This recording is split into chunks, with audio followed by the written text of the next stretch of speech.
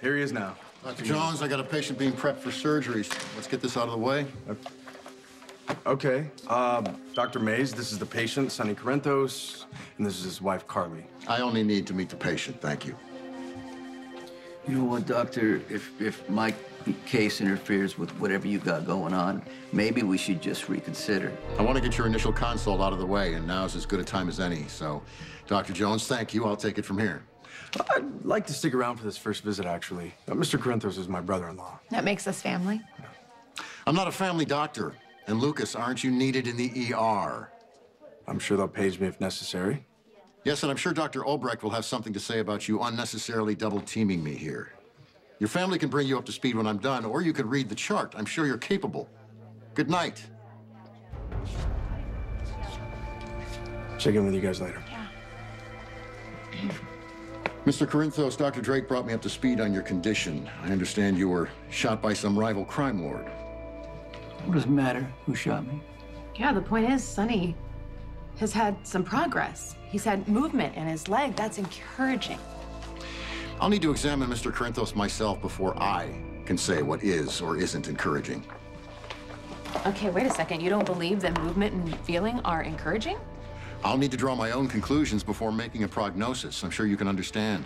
Now, if you don't mind, I would like to see the patient alone. You know what, doctor? I understand you're new, so you may not know how things work here. Hey, it's okay. It's No, okay. it's not okay for me.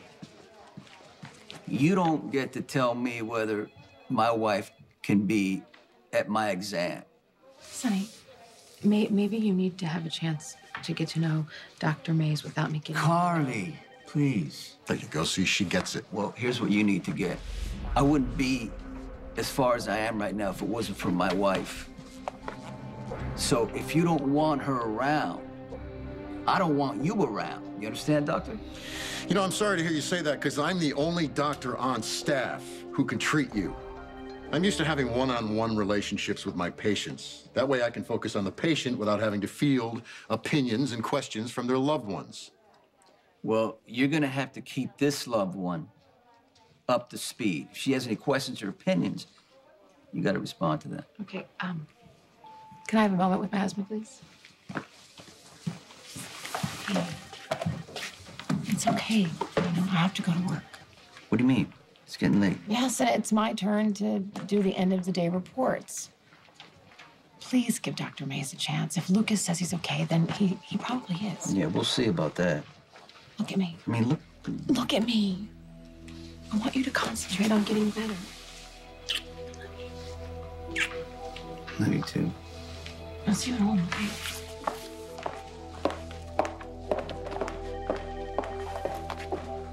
I assure you this is for the best. I have a tried and true method of working, so what do you say we get started? I want to save us both a lot of wasted time. Just end this before it starts. Mr. Corinthos, I don't want to be blunt, Why stop now?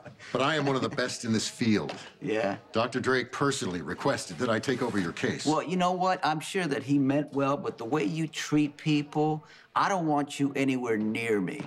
Now, you said you had a patient waiting. Get the hell out of here, doctor. But who's going to treat you? Anybody but you. Your loss. How's it going? Ask your brother-in-law.